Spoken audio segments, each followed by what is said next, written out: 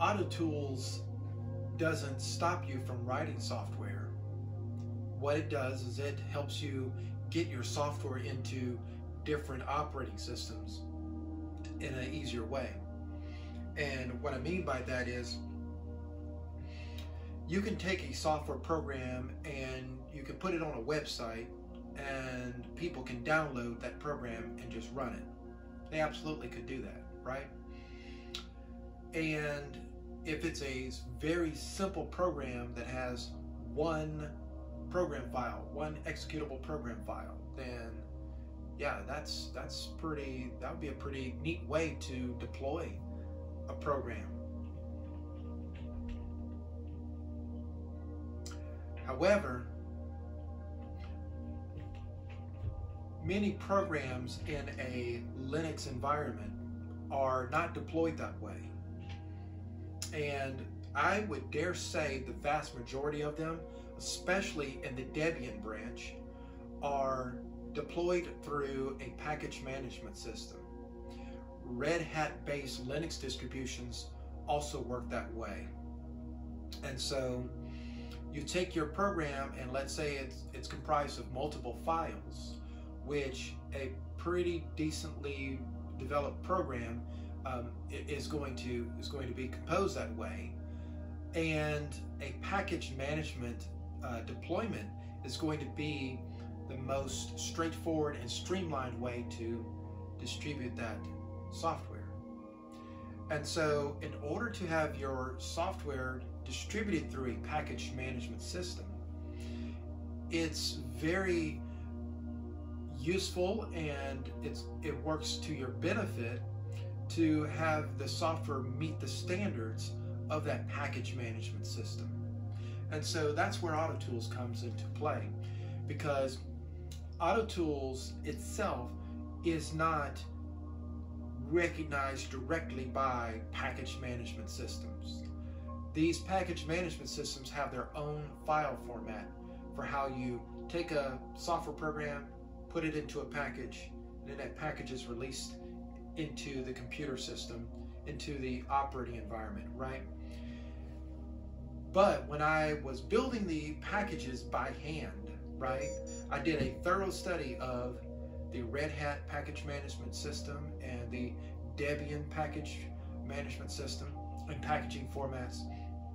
And it took me many days and many hours to put together a package that could be recognized by these environments.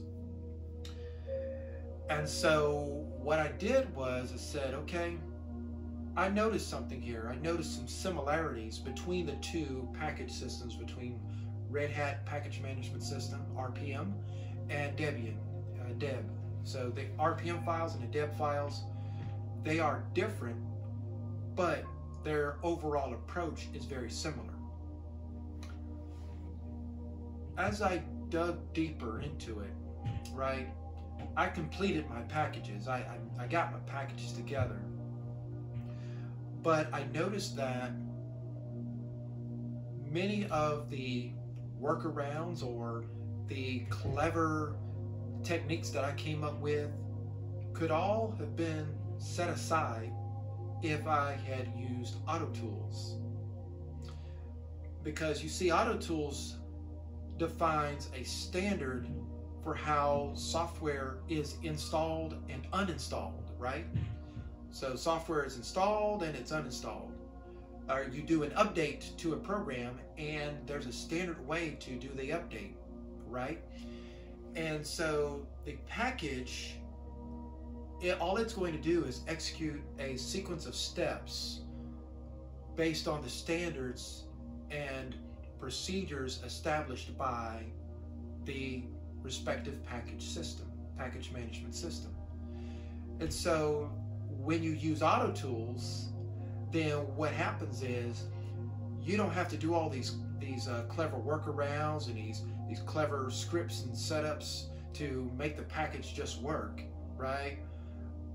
All you have to do is have a AutoTools compatible build uh, for your software and then the package management uh, process the, the process of putting a package together where all the software is now encoded in a package that can be installed on a person's system, that becomes more straightforward. So instead of taking, you know, um, hours, maybe days to put together a package and you're constantly having to tweak this or tweak that, right, in order to get it to work.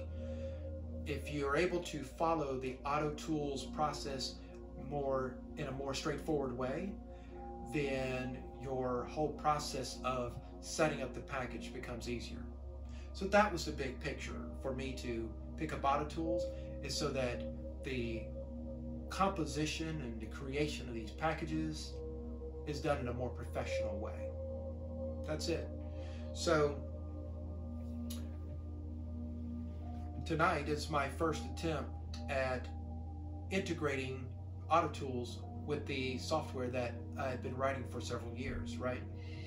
And so I'm going to take the software that I wrote and I'm going to make a copy of it into a new directory, right? Because I'm going to leave the, the existing version as it is, right? It's going to remain as it is. And so I want a clean slate in terms of reworking the file structure because the code isn't going to change. The code is going to be the same. The code is fine. But how that code is packaged is what I want to improve. And so the sequences that follow will show my initial attempts based off of my reading of the GNU Auto Tools book, right, um, by John Calcote. And I will be referring to this book as I go along and make sure I am doing the right steps in integrating Auto Tools into my software project. So the rest of these sequences are going to be pretty straightforward and I'm going to talk somewhat rapidly through them. You can always pause um, if you need and rewind if you needed to, uh, you know, try to connect with what I'm, I'm saying. But I hope that um, this is a good uh, revealing uh, exercise in how AutoTools works when setting up a software project uh, from the ground up. Let's start with running the current version of the Gautier RSS reader, version 7. I had recently got it to compile on Fedora 37. The last time I got it to compile was probably a few months ago, and some things that changed in the environment, in the overall operating environment. And so I needed to make some tweaks to the make file. And there was some small tweaks and I published those to GitHub. And so I just wanted to run the program here just to keep in mind the big picture of what I'm attempting to accomplish here, which is to um, run this program on multiple operating systems. So here's the program executing as it has been uh, successfully for the last uh, last good while. And I'm going to take this program or the source code for this program and I'm going to have AutoTools manage the the construction of the of the program from the source code. And so I got various pieces to this program and um, all of it is in a folder under the version 7 uh, directory tree called source. S O U R C E. And then when I copy it over to the new version 8 folder tree, I'm going to rename that folder from S O U R C E to SRC. SRC is more in line with the Linux software development conventions, and so I'm going to uh, going to go with that. I'm also going to copy over the desktop files. These are the files that help um, integrate an icon into the um, into this desktop program so that if there's um, integration with like the Linux menus, then the icons will uh, be be there in place. One of the things I want to look at is I want to look at the uh, the make file from versions version uh, seven, right? And while I'm putting this video together, I'm using the GNOME screen recorder, um, which is built into GNOME, rather than OBS Studio, right? And I just wanted to try something different. And so um, the the process actually froze up while I was recording this, which I found to be very interesting. So I cut my my recording and I was able to get um, the Makefile open, and here it is. This is the Makefile that um, was generated um, in version 7. I used Bakefile, which I talked about uh, extensively in the past, and this is the Makefile that uh, Bakefile generated, right? It's very close to the type of Makefile that you would write by hand. Um, since I no longer am using Bakefile, um, I did hand tailor this Makefile, and I cleaned up a few things, right? And so um, that's nice uh, and all, but what we want to accomplish now is a new Makefile that's generated by AutoTools. That's the ultimate objective. So now I'm in the version 8 directory tree and I just renamed the source S O U R C E uh, directory to SRC, right? I changed the name of the, of the folder. And so I also went in that folder and I deleted um, the external folder. Uh, the external folder had uh, the Argtable source code. I don't need it anymore because I can get it automatically through, ta-da, the um, Fedora package management system, you see? So it makes it much easier to get these dependencies uh, in place, right? So I'm going to delete that and that will, I can automatically pull that from the Fedora uh, environment. So that, that's going to be, be a nice, nice touch. And so I ran auto scan. So one of the first steps um, in the auto tools setup is to run auto scan from the command line window. And then what AutoScan does is it uh, goes through and it, it's like the name says, it scans through your directory tree to see what type of software files you're using. Is it C? Is it C++? And then it generates a file called configure.scan. The trick is you need to rename configure.scan to configure.ac. You got to do that yourself. Rename it to configure.ac. And once you've done that, now you have a AutoConf compatible project. So with that one step, I now have AutoTools. So now what I want to do is incorporate AutoMake. So I want to do that from the get-go. The AutoTools book, it takes you through a much longer step because it's looking at it from the standpoint of you already have an established software project where you put together a make file and now you want to convert that to AutoTools. I'm kind of doing the same thing, but I'm also skipping the part where I try to make the make file that I have work with AutoTools. I'm of the opinion here or the position here, I'm just going to say, okay, I just want to go straight ahead to having AutoTools manage the make file. So I'm not going to do all of those those intricate steps um, as outlined in the book. I'm going to go all the way from, I'm going to start, I'm starting at chapter one. I skip chapters two, three, four, and I'm going to skip to the chapter where it talks about automake. So that's what I do here. And I do auto reconf dash I. So it goes through and it reads the configure.ac file, generates some other files, right, needed for um, AutoConf and AutoMake to work together.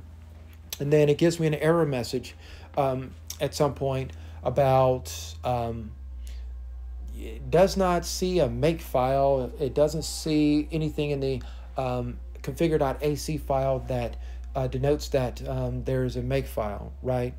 And so what I'm going to do is um, I'm going to set up the initialization for automake as indicated um, in the book um, AutoTools second edition and so I'm going to do am underscore init underscore automake.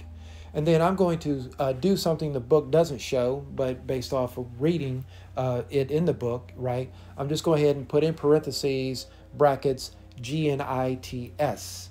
So gnits, right? So that it gives me much more um, uh, strict warnings and error messages to make sure that the project is in full compliance. So uh, once I do all of that and I run it, um, I see that I got a number of files and I want to run auto um, reconf dash i just to um, see that everything is um, clean, right? So my goal is to be able to run auto auto reconf dash i and have no error messages, right?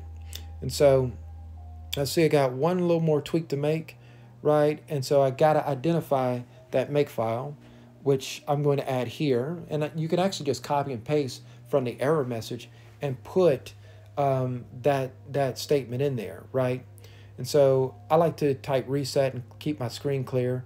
And so I type auto reconf dash i, and there are no more error messages uh, indicated. And so um, that's great. You'll notice I use touch to uh, create um, authors, uh, news, thanks, and a few other files. I do all that just on one command line, right? So um, so everything is the way it needs to be um, from from a starting starting position. And then the next thing I want to do is start setting up a automake.am um, in, a set of entries, right? So I set up the automake.am uh, file. This is the jewel of AutoTools. This is the jewel of AutoTools because setting this up means that your build gets uh, established automatically, right? So this is the the auto in the make part, right? And so I'm following along in the book and I'm going to uh, set up my product variables, right? My product source variables. And it's a very cool concept, right? Um, everything that I'm talking about here is just like what you would see, would have seen in my videos when I was talking about Bakefile, or if you're using uh, Google's Meson or you're using a CMake or anything like that, right? You are setting up your high level instructions, and these systems, whatever you're using, is going to turn those into a command line compile instructions that then uh, converts the source code into a software program. So we're several steps up in the abstraction, right? Um, and so this this setup here with Automake, based on what I've read and what I'm um, type what I'm going to uh, type into the text editor here, is much more high level than um, anything I've used. It's much more high level, or should I say, it's less granular, it's less detailed, right? So as long as you follow the patterns, it's actually faster in setting up a build. It's actually faster. Um, at least if your if your um, your your build is going to be pretty straightforward and not super complex and complicated, but it has the the the it has the the capability to go as complex as, as you need to, right? Through uh, very advanced and in-depth uh, scripting, right? But for this project, I don't need that and um, AutoMake is actually the right recipe for what I'm looking to achieve. Uh, the other great thing about about this is it will allow me to do uh, cross compile to other operating systems using a single tool set. So that is um, a, a huge win as well. I'm actually going through these directories and I'm checking out a few things. Um, and I'm actually uh, wanting to uh, make sure I got all of my source code files uh, properly um, identified. I need to identify all of my source code files because that's what's going to go into this uh, automake.am file. So the automake.am file is going to create actual make files makefile.in files, right? And so the source files have to be um, have to be correctly identified, right? And not they don't necessarily have to be identified in the in the right order, because Automake does a great job of, re, according to the book. I actually haven't tested it out yet, but according to the book, Automake is going to um, do a really good job of identifying the order of dependencies, which is a good time saver. It's not necessary for soft for someone who's uh, heavy into software development. We will make the dependencies work if we have to, right? Um, but um, here I wanted to find the main method, and it's in application.cpp. And so I am also going to use a command line um, pw pwd print working directory and that is going to allow me to uh, get the uh, file path the absolute file path uh, for the file um, and so I am going to paste that into um, the into the makefile.am file and I'm going to repeat that for each source implementation file, right? C++ implementation file in this particular case. Though it could be a C sharp implementation file, a Java implementation file, um, Python implementation file, you name it, right? So I'm gonna I'm gonna uh, define all of those, right? And then I'm also going to have to um, set up the um, include directives, right? The include directives, same as I would as if I was uh, writing the compile uh, directives on the command line directly or in a script or in a make file, right? Um, you don't uh, actually get to um, um, avoid that. You still have to do that and know what that's about. And so, um, by going through this process of traversing the directory tree, um, gathering this information to set up the make file um, properly. And then uh, once I am done with this process, I will have I will have the minimum needed for this makefile. It will not be a complete makefile, and it will not result in the program getting compiled, but it's how you begin the process of setting up a makefile using AutoMake.